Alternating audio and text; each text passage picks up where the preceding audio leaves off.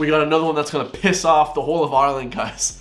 Today we got how the deposit return scheme works. So this is a news talk special, okay? And this is basically talking about how they're adding extra levies to the cans and bottles in the country. I think it's like 25 cents.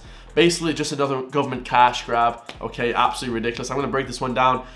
This lady here, I don't know any of their names or anything, I don't really care, but this lady here, guys, she has some kind of sense, but everybody else in this show is absolutely whack, like just horrendous. Oh, they actually allow comments, guys, so we're going to read a few after this one.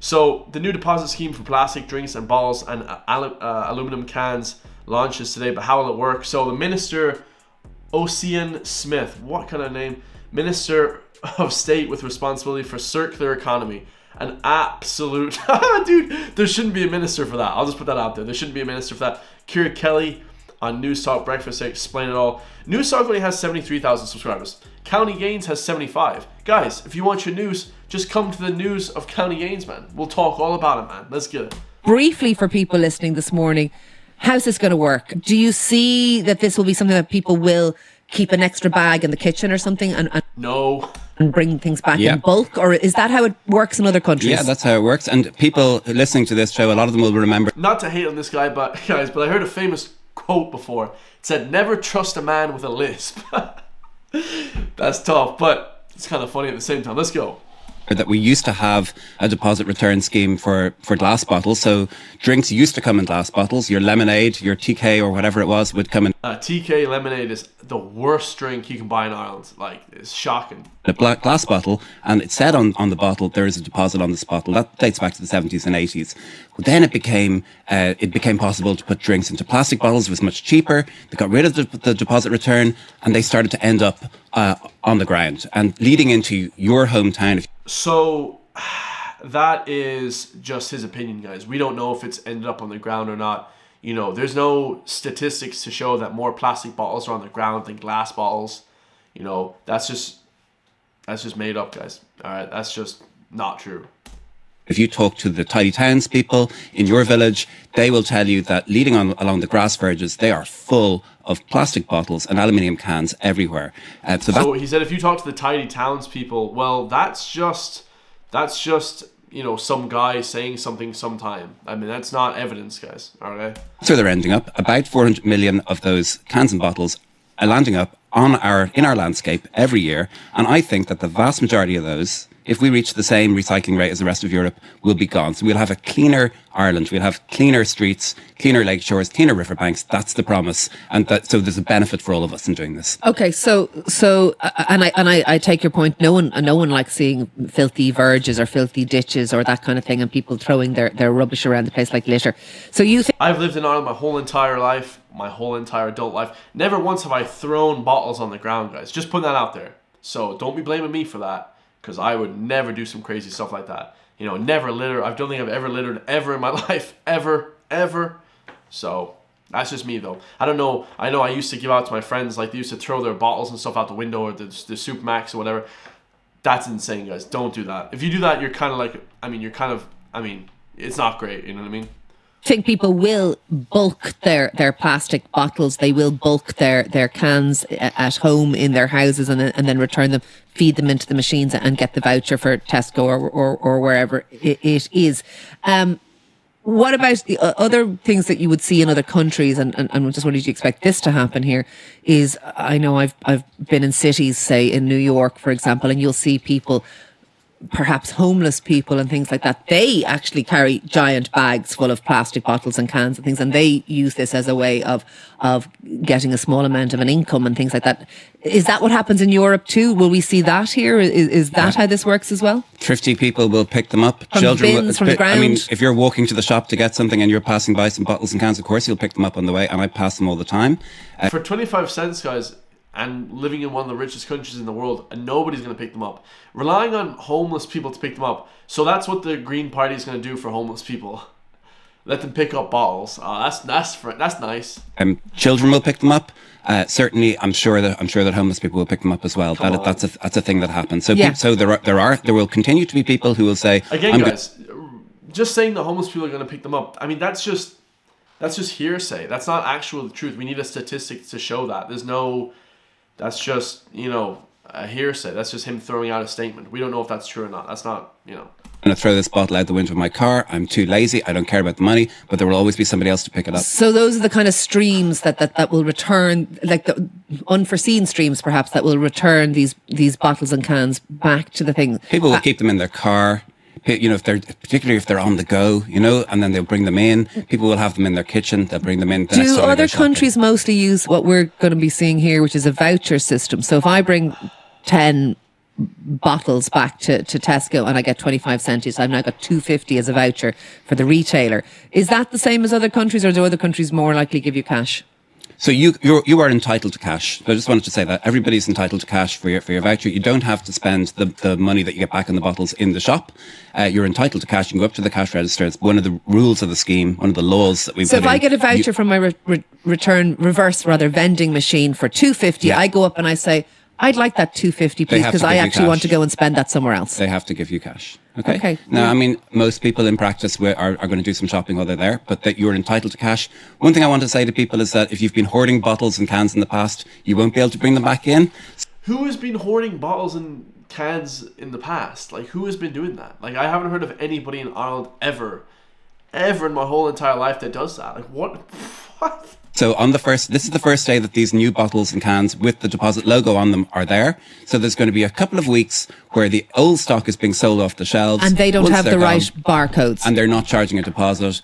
The one, the exactly, they don't have the right barcodes. So there's going to be a period of time where some of your bottles will be returnable and some of them won't. But with it, within a few weeks, Okay. it'll- it'll so will there be a period of time where some cans of Coke in a supermarket will cost one euro Yes. and what some will cost one twenty five Yes, or one fifteen? Okay. So Yeah, again, it's just another government BS levy, guys. Like, I literally, if I was ever in power, guys, I would get rid of all this stuff. Everything, man. This is horrendous, man. Charging more to the people for what? This is just ridiculous. Complete just nonsense. This is a changeover. It's like the euro changeover. People are going to be absolutely capable of doing this. And there's a lot of skepticism. Oh, it's it's just another change. It's just another law. It's just another. It's just uh, spend more money to make the government richer. It's just it's just another thing, bro. I mean, these guys who have lisps and can't even speak properly run the country. It's just. Lord save me. Will someone please be elected that's proper? This is just ridiculous. This is ridiculous, guys. No, no. I, It'll I, be I, confusing, but I think Irish people people want can to know do the practicalities. Um, lots of texts coming in for you, Minister. Um, this one is interesting. Big problem with this return scheme is you cannot return cans or bottles that don't have the barcode. But this is the case with six packs of beer, water, or other soft drinks. Is that true? Multi packs. So the law is that from that, that from now on, all the producers have to have to, can only sell products that have or can, can only produce products that have the have the barcode. So multi packs will be taken in on this. So multi packs will be taken in So on that's not- okay, We'll, ha- we'll have we'll have fewer multi packs of small bottles because it, it, it because there'll be so many deposits on it on those tiny bottles that go one bottle for every day for a child to bring to school. That kind of product is going to disappear now. Okay, well that's interesting and probably not a bad thing. Uh, So think so just less freedom, less now little plastic bottles. Maybe if you want to go for a little hike or something like a ten minute walk. Yeah, just let's just get rid of everything. Okay. Ronan makes a really interesting point here. He goes, What happens, can you please ask the Minister, to the fee for cans and bottles that are not returned? Does it go to green initiatives or does it go into the pockets of the suppliers or the supermarkets? So, it Goes into the pockets of the politicians. Let me answer that one. no, I bet. What, what, wait, wait for this one. you, you pay that 25 cent extra on your thing, Mm-hmm. but somehow that never gets back to anybody because it is it, it does end up in landfill or something. What happens to that money? So we expect ten percent of people are not going to bring them back. So that Oh, that's 10 again, just another arbitrary, you know, number that he just picked out of his head. We expect ten percent of people not to bring them back. Where did you get that number from, guys? You people watching, and I know the Irish public is very smart, but a lot of people aren't, guys. They don't understand. They don't pick up on these nuances. When this guy says stuff, it's not true, guys. Like, oh, we expect ten percent of people not to bring them back. Well, I probably won't bring them back. I buy, I go to like random shops and stuff, and I just buy like random bottles of stuff and you know, I buy like these big bottles of Ishka, which, by the way, the best Irish water, man. This is the best Irish water. But I buy this, I buy this Gatorade shit because I love it, guys. I buy it from some local, you know, Arabic store or whatever. And like, you know, I don't really buy these little bottles. So the guy saying that everyone's going to bring them back, I don't really understand that. So that's not. What if you don't want to do this? Like, what if you don't have the time to be doing all this nonsense? like, what? 10% of deposits that are then used to pay for the trucks that take away the, the bottles and cans from, from, the, soup, from the supermarkets and also money So, if you don't do this scheme, then it pays f- for them. That's what it's telling you. paid to the to the shops themselves a ah. handling fee for taking back the bottles and cans. Okay, cans. gotcha. So they need to be paid for, for, for putting in machines, for collecting bottles For and this cans. service. You need a little handling fee. They get a couple Little of handling fee. So that's if there's 10%, but he just made that number up, guys. So what is the real percent? Maybe it's 90% of people won't do it. So then it's basically just all going to them. Money into their pockets. Good scheme, guys. Get rich scheme. There you go. cents per can or bottle. That's Okay, what pays so- for it. so- so it's that- the people who don't recycle who pay who pay for the scheme. So there you go. If you don't go along with our laws and our rules, then you get slammed. Thank you. I mean, do you guys not understand? This is just freedom getting taken, bro. I, people can't break down what they're saying. This is just ridiculous, guys. Okay, so that's the scheme is, is self funding to that extent, is it? Uh, well, there's also a large contribution from the from the producers. They are, they must pay the, the, the bottling companies who make these cans and bottles. They have to pay 30 million euros a year between them uh, to, because they are putting all this this material onto the market. So they have to pay for for for the fact that it, that causes pollution. I've heard a lot of people ask this question. Bro, they're gonna stop making nice drinks. Ugh. They might even start getting rid of like Irn-Bru and all these like you know drinks that aren't really like you don't find abundance. Of, you know you don't find an abundance of. We're just gonna have Pepsi and Sprite. Question I don't drink Pepsi or cola. The scheme. Can you please ask the minister why they didn't put the barcode on the underside of the cans, which would allow people to compact their return cans rather than having to keep them intact, which would make them easier to bring back and smaller? And that's from Joe in Limerick. But I've heard a lot of people talking about that. Okay, I think that's a good idea. We look at that in version two. I was very keen to launch the scheme on time on the 1st of February, the first day of spring. Very happy that it is launching on time after all these years. Uh, and I made sure that, um, that it had a minimum spec. We're going to do a version two. If people have ideas for what they'd like in the next version, I'm happy to. So, so you are open to jo- Joe from Limerick, I, but I have heard other people. How about for version three, we just get rid of it completely, guys? like, what is this, bro? Please, can somebody get voted in that's like not, I don't know, this guy? We'll say it that, that yeah, being, able, certainly, certainly, I'll look at it. being able to squash it down would be. A, So a- when you put it into the machines, they, the, the machine compacts it and puts holes in it to stop people from taking them out the back of the machine and putting them back in again. So, so they are they are crushed. Yeah. I was actually quite uh, excited, Minister, because I had a look at the website this morning, and when I asked them where I could get in my locality a reverse vending machine, it wouldn't tell me earlier on today. Yeah. it's just told Just me now, live, so it's it? just gone live. So it actually is all up and running very nicely. Actually, it's given me my nearest one, which is pretty good. Um, good morning, folks. Will the new refund machine accept cans and bottles without the return logo, i.e., older ones? But you've addressed that. No, so is no, the it answer. won't. Yeah, no, it won't. Yeah. Um, a couple of things. We did an Amárach poll here on Newstalk around all of this. So we got some results, Minister. Seven out of 10 people do plan to use the scheme, which means that three out of 10 don't. That would be lower than, than other countries, but do you think that's So three out of ten won't. So he said ten percent. So he, did he just lie? Is that misinformation? We don't know. There's no statistics out in the world or in the EU. Maybe there is. Maybe the Environmental Protection Agency has some numbers. But he said ten percent. They said thirty percent. So who's correct? So it could be fifty percent. It could be ninety percent that won't use it.